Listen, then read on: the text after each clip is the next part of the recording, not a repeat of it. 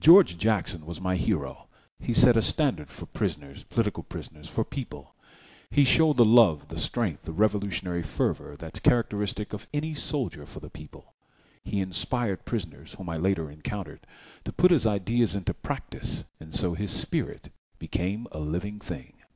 A quotation from Dr. Huey P. Newton, Ph.D., former Minister of Defense of the Black Panther Party at the Revolutionary Memorial Service for George Jackson in 1971. August, in both historic and contemporary African American history, is a month of meaning. It is a month of repression. August 1619, the first group of black laborers called indentured servants landed at Jamestown, Virginia. August 25, 1967, classified FBI memos went out to all bureaus nationwide with plans to, quote, disrupt, misdirect, discredit, or otherwise neutralize, unquote, black liberation movement groups. August 1968, the Newark, New Jersey Black Panther Party office was firebombed. August 25, 1968, LA Black Panther Party members Steve Bartholomew, Robert Lawrence, and Tommy Lewis were murdered by the LAPD at a gas station. August 15, 1969, Sylvester Bell, San Diego Black Panther Party member, murdered by the US organization. August 21, 1971. Black Panther Party Field Marshal George L. Jackson assassinated at San Quentin Prison, California. Three guards and two inmate turncoats were killed, three wounded.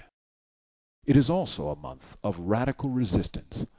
August 22, 1831, Nat Turner's rebellion rocked Southampton County, Virginia, and the entire South when slaves rose up and slew their white masters. August 30th, 1856, John Brown led an anti-slavery raid on a group of Missourians at Osawatomie, Kansas. August 7th, 1970, Jonathan Jackson, younger brother of Field Marshal George, raided the Marin County Courthouse in California arming and freeing three black prisoners, taking the judge, prosecutor, and several jurors hostage. All, except one prisoner, were killed by police fire that perforated the escape vehicle. John was 17. And in an instance of resistance and repression, August 8, 1978, after a 15 month armed police standoff with the Philadelphia based Naturalist Move organization, the police raided Move, killing one of their own in police crossfire and charging nine Move people with murder. The Move Nine in prisons across Pennsylvania are serving up to 100 years each. August, a month of injustice and divine justice, of repression and righteous rebellion, of individual and collective efforts to free the slaves and break the chains that bind us. August saw slaves and the grandsons of slaves strike out for their God given right to freedom, as well as the awesome price, the ultimate price, always paid by those who would dare oppose the slave master's will. Like their spiritual grandfather, the blessed rebel Nat Turner, those who oppose Massa in this land of unfreedom met murder by the state.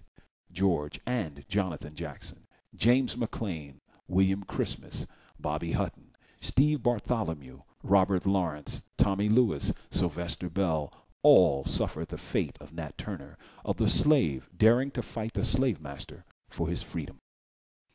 Ruchell Magee, for the crime of surviving the Marin County Courthouse Massacre, has been consigned to a life in California slave coffles, modern-day dungeons called adjustment centers, where he has languished since August 1970.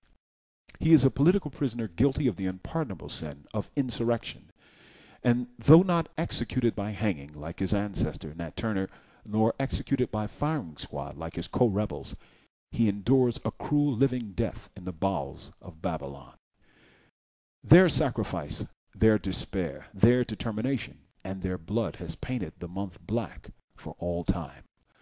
Let their revolutionary sacrifice not be forgotten nor taken in vain. From death row, this is Mumia Abu Jamal.